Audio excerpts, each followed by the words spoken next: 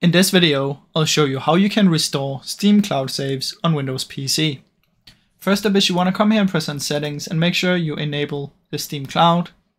Once you've done that, click on Steam and press exit and then reopen Steam.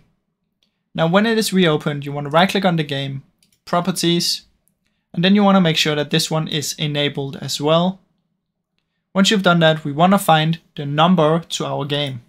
So head over to store, search for whatever game it is, press on it, and up here you should see some numbers right after app.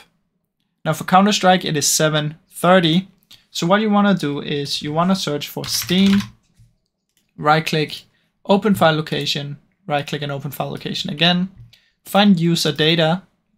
Now in here you should have one or multiple folders. Now you want to find a folder with the 730 that we just checked. Now if you are using another game it's not 730 for you, but we just checked the number on your game.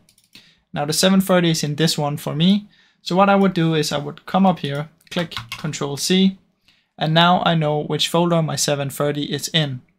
So then you would come up here, restore game backup, browse, put it in here, press enter, select the 730, select the folder, and there we go.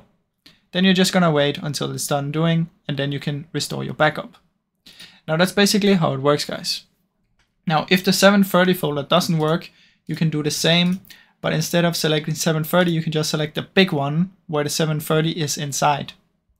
Now, you can also go in here and you can try and open up these if those don't, uh, if the other one doesn't work. So that's basically how it works, guys. Now, I really hope you enjoyed this video. If you did, please leave a like and subscribe, as it helps me out a ton. Thank you so much for watching.